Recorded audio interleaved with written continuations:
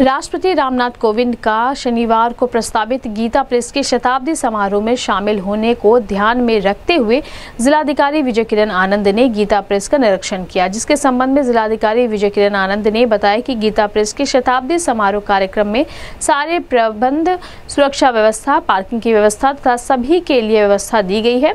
उसी का यहाँ रिहर्सल किया गया है और पुलिस प्रशासन के वरिष्ठ अधिकारी की मौजूदगी में राष्ट्रपति के टीम के साथ लगातार बातचीत चल रहा है।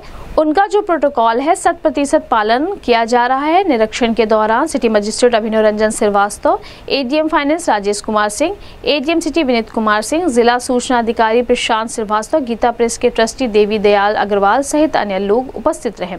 इस संबंध में गोरखपुर न्यूज़ से बात करते हुए जिलाधिकारी विजय किरण आनंद ने कहा।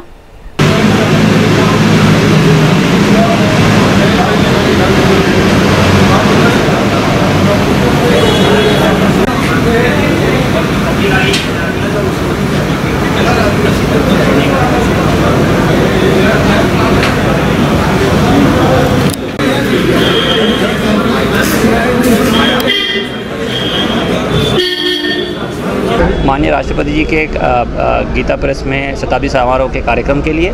जैसे आप देख रहे हैं, सारे प्रबंधन की व्यवस्था, सुरक्षा के लिए दृष्टिगत जो व्यवस्था होनी चाहिए, पार्किंग व्यवस्था, आगंतुकों के लिए, सभी के लिए सुविधाएँ, सब व्यवस्थाएँ की गई हैं और उसका रिहर्सल भी अभी चल रहा है और पुलिस और प्रशासन के वरिष्ठ अधिकारीगण यहाँ हैं।